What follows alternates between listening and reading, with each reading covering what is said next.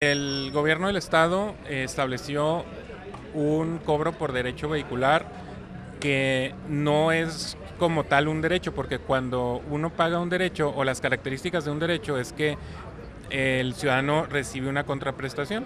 Entonces realmente esto no es un derecho porque no, recibimos ninguna contraprestación, lo único que recibimos es un sticker que se pega en la placa.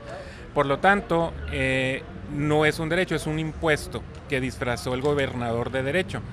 Entonces, el Partido de Acción Nacional amparó hasta la fecha a mil ciudadanos que se acercaron a las oficinas del PAN para que la justicia federal les eh, reintegre lo que se pagó por este derecho, que fueron alrededor de mil pesos.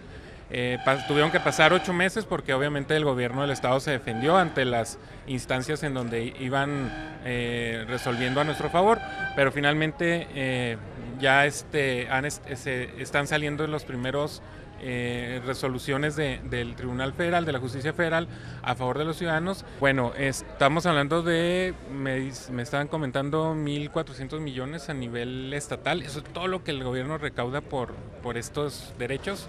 Eh, nosotros por estos mil amparos pues estamos hablando mm, de aproximadamente un millón o más de pesos, ¿no?